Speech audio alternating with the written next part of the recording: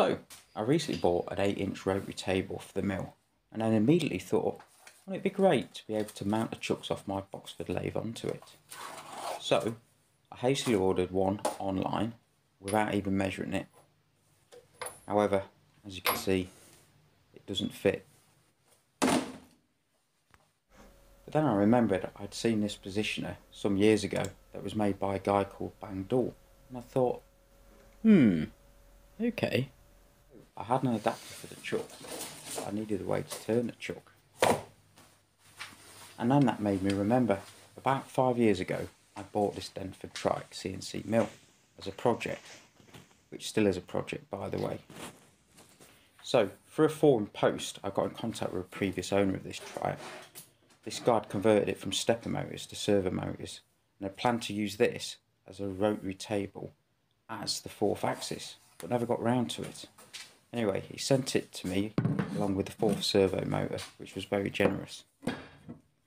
And as you can see here, it's a really uh, quite high quality piece of kit.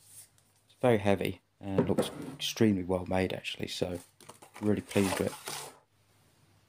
There are two dowel location pins on the top of the turntable that could become quite handy, but I need a chuck that I'm happy to weld steel jaw extensions to. Luckily, when I bought this Boxford lathe, it came with a bigger 3 jaw chuck that I had planned to replace anyway, as it doesn't centre brilliantly. And using it for the build would be a good reason to replace it anyway.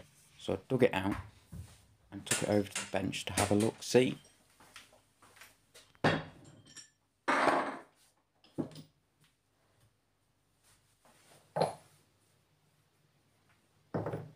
The Boxford spindle nose thread size is one and a half inches by eight threads per inch and this adapter fits a treat so I'm really pleased with it. I offer up the chuck and the adapter onto the table and it sits there nicely. Amazingly this box didn't get lost when I moved house and inside are the outside jaws and I think I'll weld the jaw extensions to these this turntable has a motor that I assumed was DC, so I connected up a 12 volt battery to it to check if it worked. And it did, which was nice. Also tried a 6 volt battery to check that the speed reduced with less voltage, which it did. So I went to the toolbox to get my trusty Draper Allen keys out so I could take the turntable top off and have a look, see what it's all about.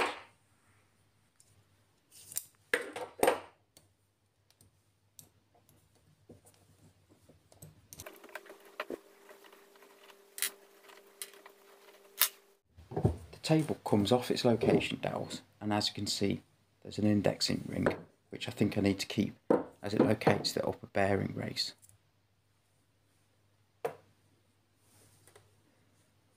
The table is doweled and screwed to this shaft and it's turned by the brass gear that is turned by the motor.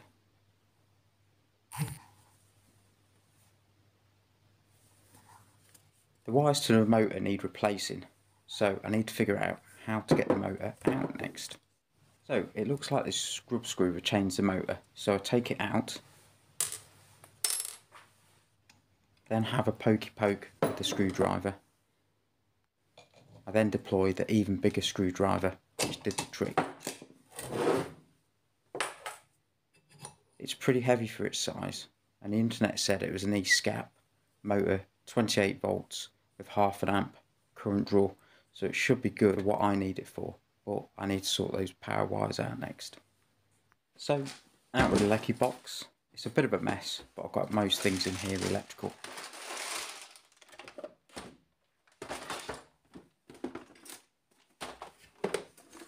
Including my Maplin soldering iron.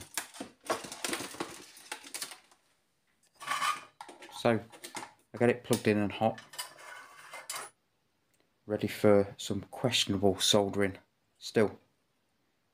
It does appear like it has actually stuck.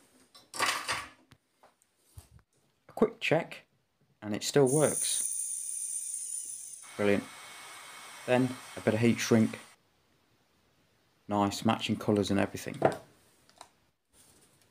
Then some connectors. And time to get it back in. Drive from the brass gear is transmitted through friction between it and the steel plate with the arrow to it. It also acts like a clutch, so the chuck position can be moved whilst it's rotating, which is pretty handy. Putting everything back together,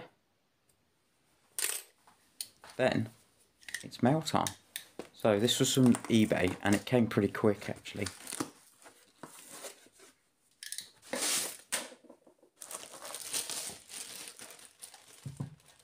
So this is a 0 to 30 volt power supply which should come in pretty handy. So let's get it plugged in, see if it works.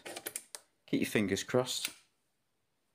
Simply plug it in and connect up with crocodile clips.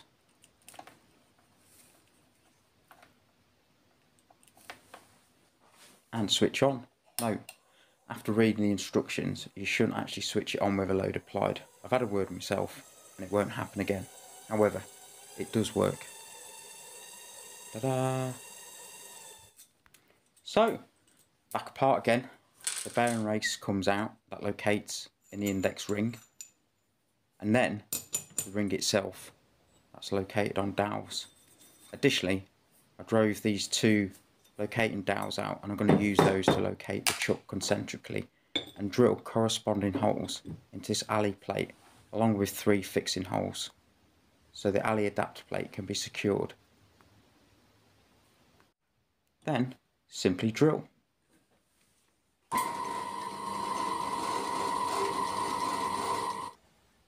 And press the dowel back into the table.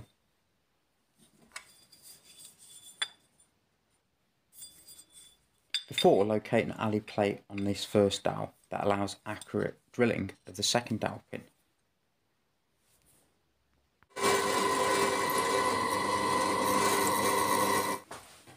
And then, with the plate located by the dowels, the other fixing holes could be drilled.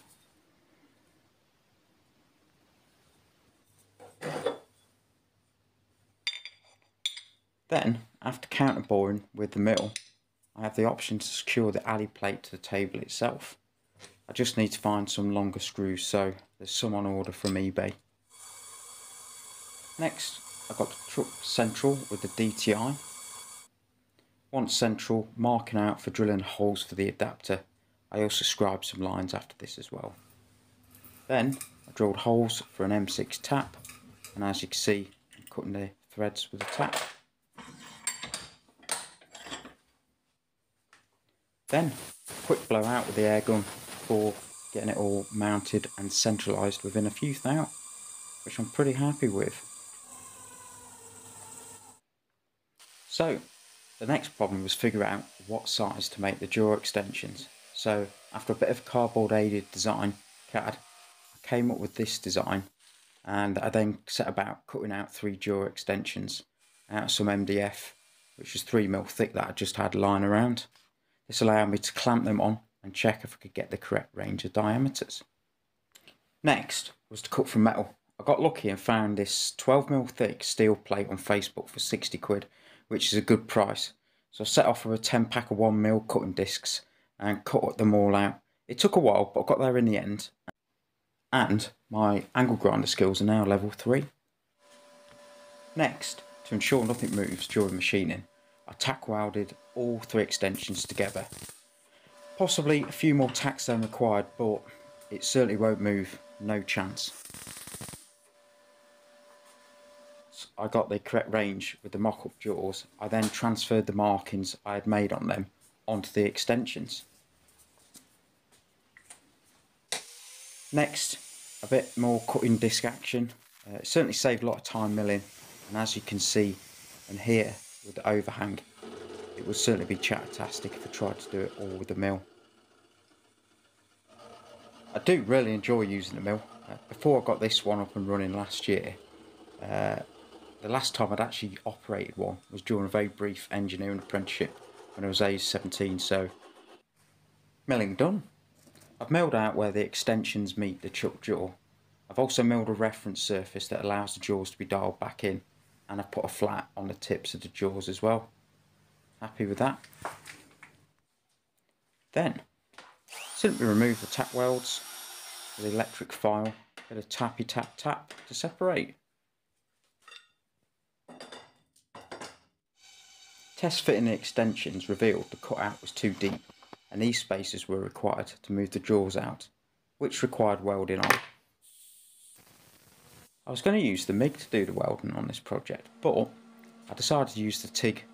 It's a little bit of a slower weld and it gives you a little bit more control, so I went with that and I'm actually really pleased I did. The finished weld. I tried clamping and I've tried magnets to position the jaws and the extensions for welding but in the end I actually found it easier just to hold it in place and tack. I then refitted the jaws to the chuck just to get an idea of the fit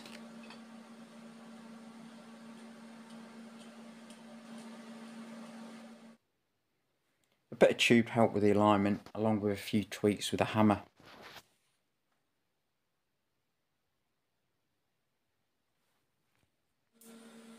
And some more tacks, taking care to keep an eye on the alignment as the weld pool cooled and pulled. I then removed from the chuck for final welding on the table. Nearly there now, just one job left.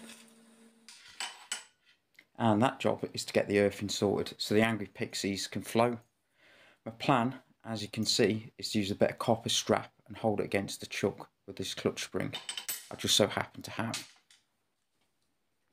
I drilled and then tapped the base. Ready for assembly.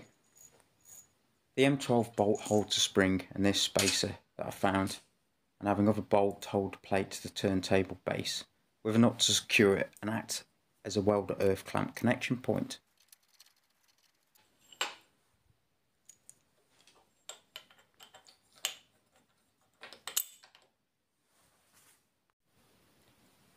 It's not overly clear, milled a step into the head of this bolt to stop the earth strap from moving as it rotates. And then I'll get all this fitted, ready for the first test. First try, and it works fantastic. But after reviewing Bang videos, I certainly need to be rotating faster. And he uses pulse, so more playing around with settings required, but it welds.